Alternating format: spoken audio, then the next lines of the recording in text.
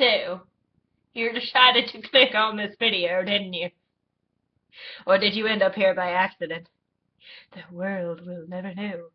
Anyway, so I'm Elrond Hubbard, and I am currently 24 and and like five days pregnant. Yes, and she is a wonderful little girl, and she's the best thing that ever happened to me in my whole entire weird life. And I call her the lump right now because like I have to do a video on that. She just looks like a lump when I like lay down because it's a little oddly shaped where you know she is and all that. Um. Anyway, so you want to know about boobies and how they change during pregnancy? Well, I'm here to tell you more than you ever wanted to know. Alright, so I've gotten a couple of questions, and I even had a couple of questions, and I did some research. When you are pregnant, your boobies get bigger, which means the skin stretches, which means stretch marks. Yeah, I mean, I know that you probably, if you are pregnant or you have a pregnant partner, already knew about stretch marks. What I bet you didn't know is they go everywhere. Everywhere! They're all over the place. They're like underneath, they're on the side, they're on the top. It's just like inflation. And skin only stretches so far before the stuff the stuff that keeps them together, the, the cellulose, I believe, starts to give out, which leaves the little uh what is it? They kind of the silver marks they're really red and purple when it first happens, and it's really awkward. Because you're just sitting there like, oh my god, look at my boobies. They're so hideous. Urgh.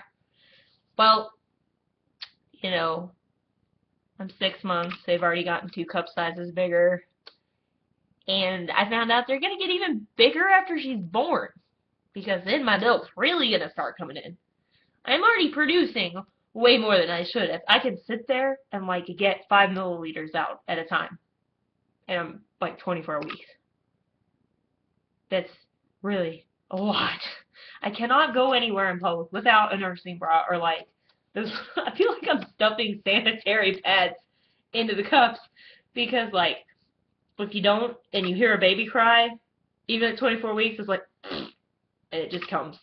You can't help it. You can't stop it. It just happens some people don't really produce milk until later on or, you know, they just have trouble in general and I guess I just got lucky. I anticipate breastfeeding Ashlyn. Um, I don't think there will be problems. You never know. Um, do your nipples change? Yes, they do. They do, big time. Um, they get darker and sometimes they get bigger. Now, I've seen some pregnant lady boobies. Cause I watched some breastfeeding videos. Let me tell you, them things are like this big. I got lucky. Mine didn't change that bad. It just got really dark. Um, are they sensitive? Yes. Oh my gosh, yes. I like started crying when the seatbelt hit me wrong in the car. And you can bet your booty in public, if you bump into my chest, you better run. Cause crap the teeth and the fangs will come out. Um, another weird thing is that they itch. Like, they just itch all over. You could be laying there like, oh, yeah, how, how much to sleep? uh, nope, your boobies are to start itching. You got to roll over, scratch that crap. And then as soon as you scratch it, it's like, and then you got to get up and clean it up. I remember, like, when I first started producing, I think I was like 13, 14 weeks, and I woke up and my sheets were just covered, and it was nasty, and I had to change them, and I didn't know what to do, and then, you know, started doing some research, and then, oh yeah, there's pads you can stick in your bra. That's a should have had a V8 moment right there. Um, what is the most annoying thing about your milk coming in? Uh, probably not being able to sleep without a bra on. That is, oh my gosh, I just want to like, and um, it's not breastfeeding that causes your breast to sag. By the way, it's like people not wearing bras. It's the fact that you get pregnant.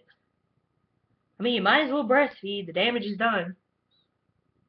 to be blatantly obvious, there's nothing you can do about it. You got pregnant, deal with it. Oh, but Elrond, I had beautiful boobs. I don't want him to sag. Should have used some birth control, honey. Um. my cats are driving my dad crazy. I feel bad about it, but there's not much I can do. Um. Is there anything you can do to prevent stretch marks? No. There's, uh, you know, tons of creams out there. There's anywhere from like two and a half dollars a piece to like ten dollars a tub and up. No. Let's put some Jergens on it. It'll help with the itching a little bit. I mean, I got this Palmer's cocoa butter, and it feels nice. It didn't really help me. Alright, well, I may make another one about breastfeeding after she's born. Thanks for watching. The boobies love you.